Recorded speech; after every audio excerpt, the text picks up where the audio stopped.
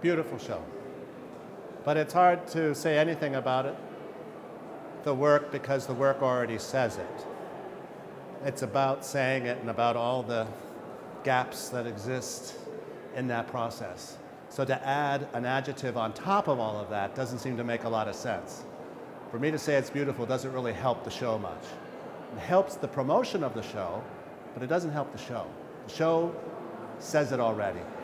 And that's what I got from the show.